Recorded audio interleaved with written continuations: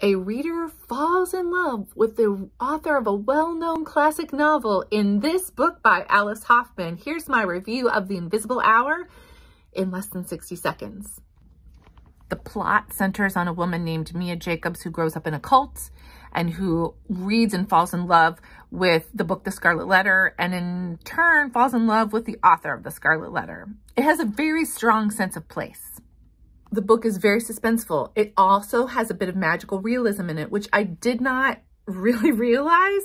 So I got like halfway through the book and I was like, this feels like the end. But oh no, there was like a whole nother section that was starting. And I thought that was very clever. This book is slightly creepy. It's very suspenseful.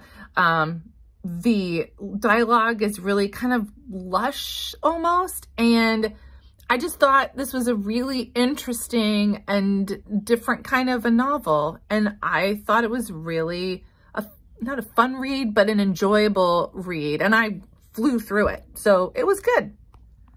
And I'm going to give it four stars.